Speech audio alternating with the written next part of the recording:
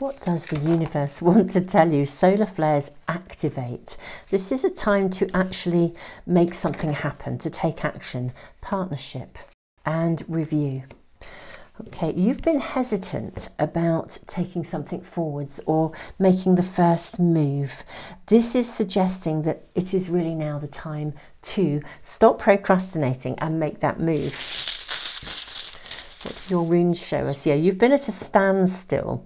Um, but actually, I feel like this is potentially a, a, a, twin flame, a soulmate, somebody who mirrors something to you of yourself. There's a lot of potential in this, actually. It really is time to get going, get started. There's actually only one way forward here, interestingly enough. This is really very much a destined sort of partnership or connection, whether it's business, personal, friendship, whatever it is. It's time to actually make a move and make it happen.